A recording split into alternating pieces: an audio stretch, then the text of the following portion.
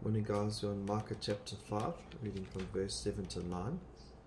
And we're just looking at what will happen to Israel in the, in the end, in the millennium reign. At the moment, Israel has uh, many enemies from all sides. They'll be persecuted. But a time is coming when the tables will be turned. And it says in verse 7 of chapter 5 Then the remnant of Jacob that's Israel, shall be in the midst of many peoples like dew from the Lord, like showers on the grass, which delay not for a man, nor wait for the children of man. Um, and so God will never destroy Israel. There's always that remnant. Um, Satan has tried to destroy Israel through the Holocaust, through many different ways, but God always raises up that remnant, and it'll be like a dew um, like showers. You can't stop showers. You know, you can't suddenly stop. Now I'm going to try to stop all the dew coming on the grass in the morning. It's there. Um, it's it's it's a definite. And it goes on to verse eight. And the remnant of Jacob shall be among the nations, in the midst of many peoples, like a lion among the beasts of the forest. The lion, the most powerful animal. And he says, like a young lion among the flocks of the sheep. So you can imagine a young lion of his power amongst the sheep, and that's a figure of speech um, in, context of how powerful Israel will be amongst all the other nations. Which, when it goes through, treads down and tears in pieces, and there is none to deliver. There will be no, no one to deliver them. Um, they will have all the strength and all the power like a lion.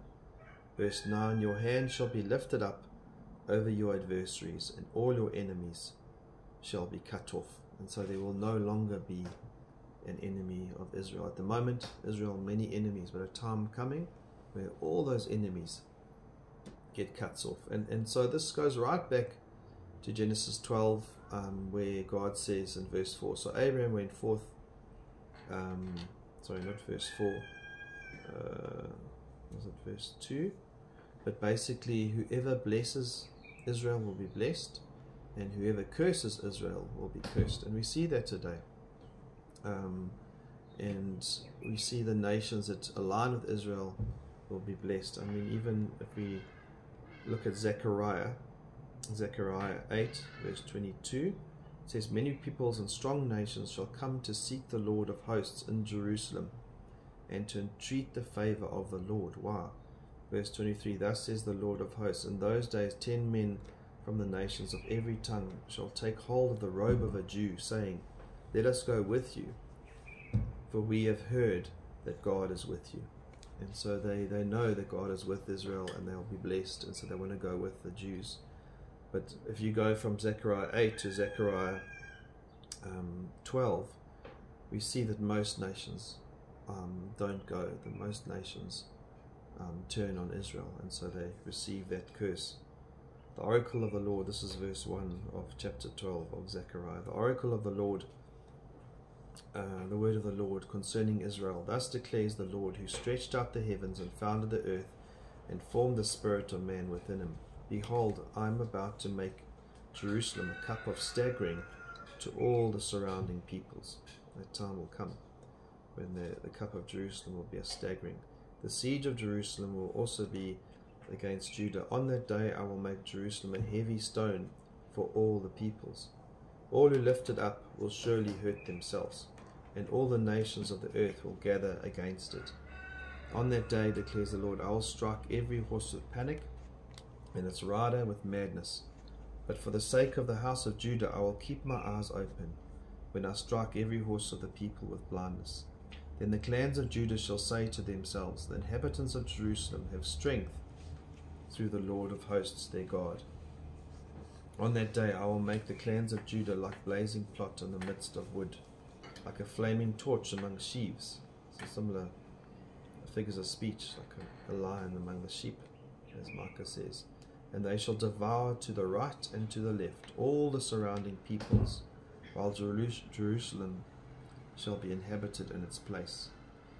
Verse 7 And the Lord will give salvation to the tents of Judah first, that the glory of the house of David and the glory of the inhabitants of Jerusalem may not surpass that of Judah.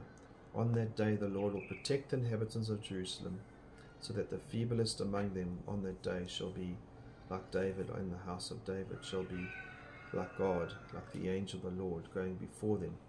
And on that day I will seek to destroy all the nations that come against Jerusalem.